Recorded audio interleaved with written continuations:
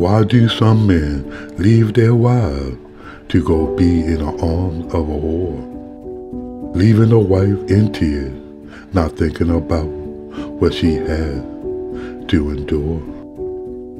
Some will put the blame on the wife for forgetting what it took to bring him in, and the commitment they both promised to be lifelong friends.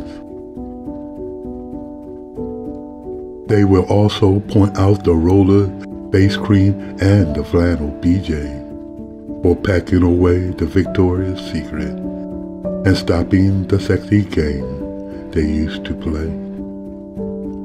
I wonder if a whore ever suffer from occasional headaches, or if they are better when they are not, making the sex sound so fake.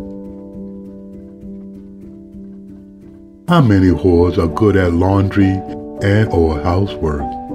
Are they better looking on his arm as he attend church?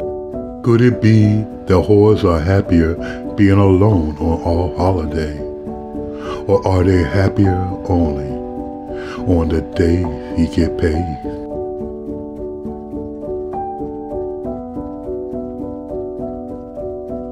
Could whores be better caregivers when he come home feeling sickly? Or would she simply kick him out of her bed and tell him to leave her house quickly? Will a whore support her man when he loses his job? Or would she simply discard him and get on the phone and call Bob? What I learned from this is that some men want the sex from the whore and the security of a housewife. But would he ever leave the wife to spend time with a whore for the rest of his life?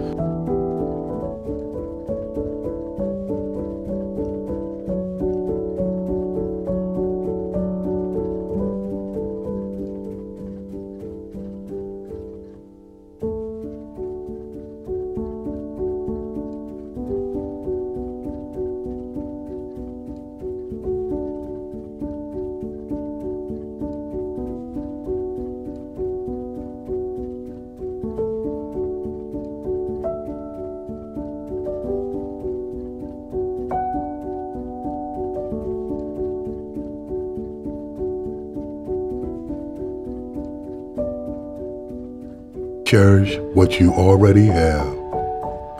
Stay home with the wife.